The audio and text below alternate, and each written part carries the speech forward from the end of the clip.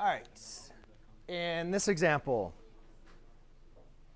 um, in this example, what we're basically going to do is, again, we need to go ahead and go ahead and graph this again. Now, if you remember, our base is e. Now, remember, e did not represent actually a variable. e represented our number, which was approximately 2.71. So again, you see e, though. e is larger than 1. So therefore, it's going to create a growth function. Going to look something like that. It's approximately 2.71. And I said that on the first day that we did instruction, and we introduced e.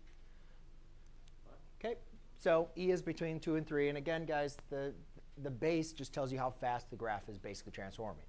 We looked at 3. When we have a number up top, that is also going to be affecting the stretch. That's another way for us to be able to kind of stretch the graph. So that's going to affecting kind of uh, the graph there.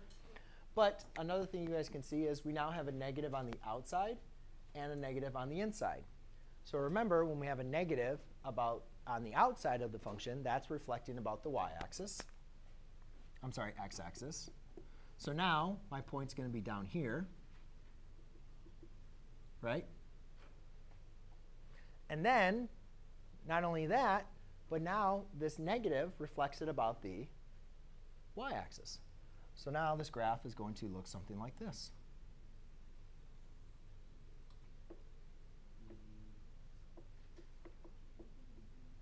And then that's your final answer.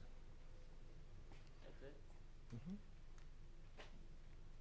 You guys see that? So it has like a double. Now you could say there's a horizontal translation of 3, but that just really kind of affects like the curvature of the graph.